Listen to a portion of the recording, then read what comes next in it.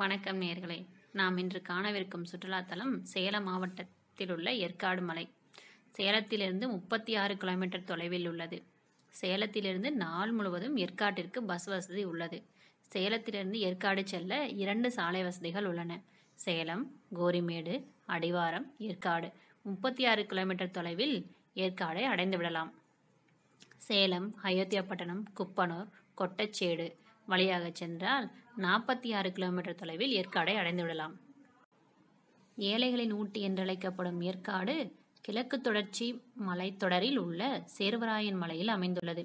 ஏற்காடு கடல் மட்டத்திலிருந்து ஐயாயிரத்தி முன்னூற்றி இருபத்தி ஆறு அடி உயரத்தில் உள்ளது. பத்தொன்பதாம் நூற்றாண்டில் சேலத்தில் தங்கியிருந்த ஆங்கிலேயர்கள் ஏற்காட்டை கண்டறிந்தனர். சேலத்திலிருந்து ஏற்காடு செல்லும் மலைப்பாதையில் இருபது கொண்டை ஊசி வளைவுகள் உள்ளன. சேலம் மாவட்ட ஆட்சித்தலைவர் காக் பன் இங்கு காப்பி செடி ஆப்பிள் போன்ற பல வகைகளை அறிமுகப்படுத்தினார்.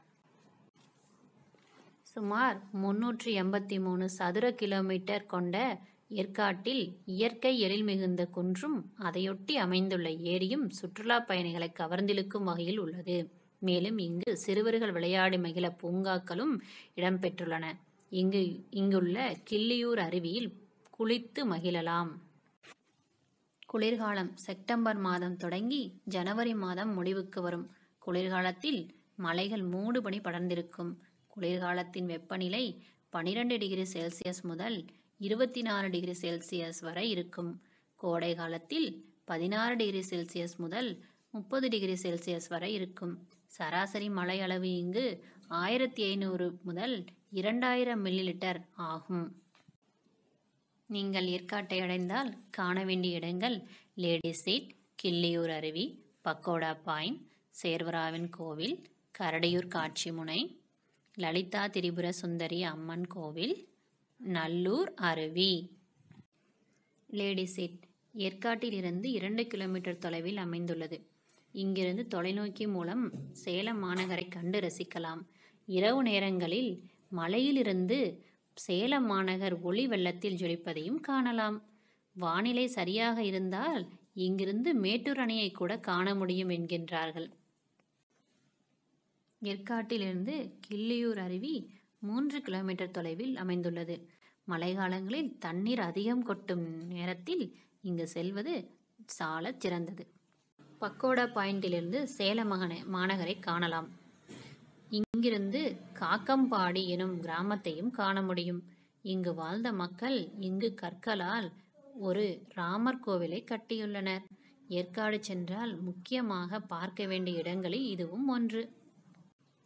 சேர்வராயன் கோவில் மலை உச்சியில் அடுக்கடுக்காக அமைந்துள்ளது. ஒரு மெல்லிய குகையில் அமைந்துள்ள இக்கோவில் தேவி காவேரிக்கும் சேர்வராயன் கடவுளுக்கும் கட்டப்பட்டுள்ளது. கரடியூர் காட்சிமுனை இது ஏற்காட்டிலிருந்து பனிரெண்டு கிலோமீட்டர் தொலைவில் அமைந்துள்ளது. ஸ்ரீ லலிதா திரிபுர சுந்தரி அம்மன் கோவில். இது ஏற்காட்டிலிருந்து ஏழு கிலோமீட்டர் தொலைவில் நாகலூர் லலிதா திரிபுர சுந்தரி திருக்கோவில் சேலம் நாக நாகலூர் என்ற கிராமத்தில் அமைந்துள்ளது. நல்லூர் அருவி. இது ஏற்காட்டிலிருந்து இருபது கிலோமீட்டர் தொலைவில் அமைந்துள்ளது. மழைக்காலங்களில் தண்ணீர் அதிகம் கொட்டும் நேரத்தில் இங்கு செல்வது சிறந்தது. ஏற்காட்டின் கோடை விழா மே மாதத்தில் ஏழு நாட்கள் கொண்டாடப்படுகிறது. இந்த விழாவில் மலர் கண்காட்சி நாய் கண்காட்சி மூலிகை கண்காட்சி மற்றும் படகு போட்டி நடைபெறும். நன்றி நேயர்களே இன்னொரு புதிய சுற்றுலா தலத்துடன் மீண்டும் நாம் சந்திப்போம்.